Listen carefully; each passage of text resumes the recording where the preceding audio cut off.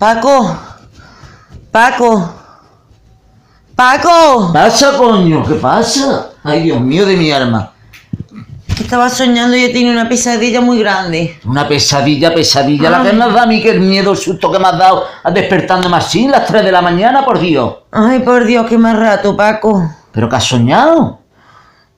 Soñó que me encontraba con un árbol que le colgaban unas trancas y unas pollas así de grandes. ¿Pero pollas colgadas en el árbol? Sí, colgando y yo quería pegar saltos para cogerla.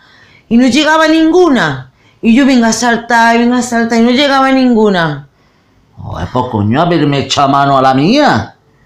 Paco, como la tuya había en el suelo así.